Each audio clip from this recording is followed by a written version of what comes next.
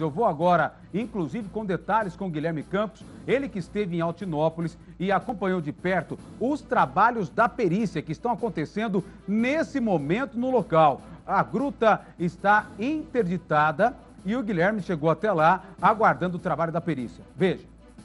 Essa é a estrada que dá acesso à gruta que desmoronou na área rural de Altinópolis. Para você ter uma noção, para chegar lá são dois quilômetros, um quilômetro de carro e mais um quilômetro para chegar lá por uma trilha de difícil acesso, uma caminhada de aproximadamente 45 minutos.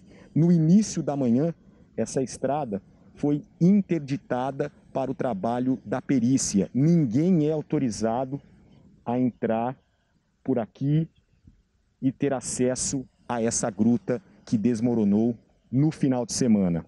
É a Gruta das Duas Bocas, uma das principais atrações turísticas aqui de Altinópolis. A chuva dificultou muito o trabalho dos bombeiros. Você vê ainda que a estrada aqui é uma estrada que está com muita lama. Choveu praticamente a madrugada toda de domingo. A madrugada de domingo choveu muito. O início da manhã de domingo também teve muita chuva. Os bombeiros tiveram muito trabalho para fazer esse resgate desses bombeiros civis que ficaram soterrados aqui nessa gruta. Bombeiros civis que vieram aqui para fazer um treinamento e o teto dessa caverna desmoronou.